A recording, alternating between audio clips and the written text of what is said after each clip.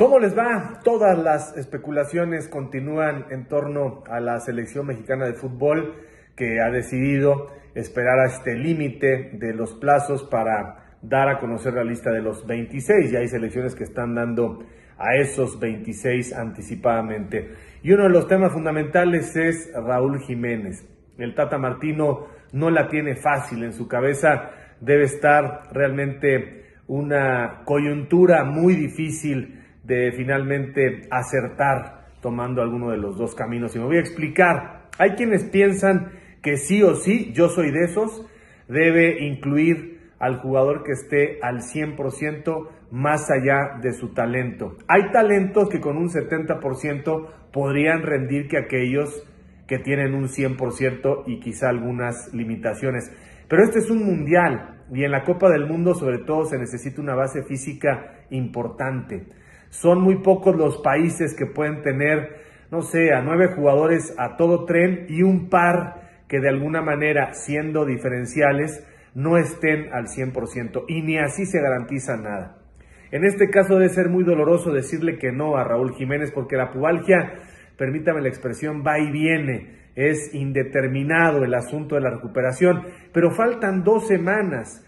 Y en estas dos semanas, mañana martes, México dentro de 15 días estará debutando, no te da tiempo para estar a la altura, aunque seas un 9. Y si a esto le agregamos que la evolución de Jiménez desde el golpe aquel trágico no ha sido de lo mejor, hay una decisión que tomar.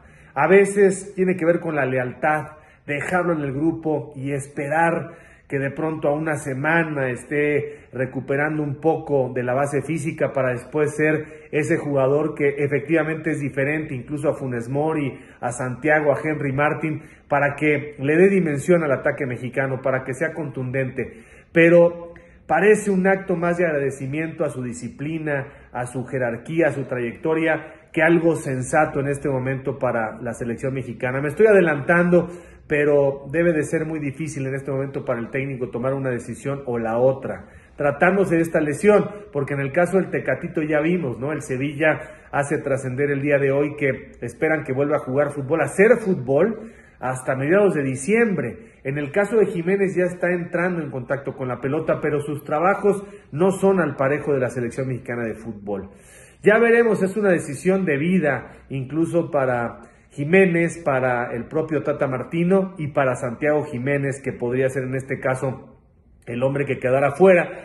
Y van a medir todas las críticas si esto pasa, si se queda Jiménez a un 60%, 50% y no se incluye a un Santiago Jiménez al 100%, aunque no es mejor jugador, hay que decirlo en general, sí vive un mejor momento, sí me parece que lo lógico es dejar a los que están a la altura de las circunstancias, pero en el caso de Jiménez, el Tata Martino va a esperar hasta el último momento. ¿Qué va a pasar en la lista final? ¿Se queda o no? Raúl Jiménez es un tema candente, es un tema además de grupo, es un tema de sentimientos, es un tema de sensibilidad para ver cómo arropas a este jugador que está haciendo lo más que puede por estar en la Copa del Mundo a la altura para la selección mexicana. Vaya, no quisiéramos nadie estar en la piel del Tata Martino. ¿Ustedes qué harían?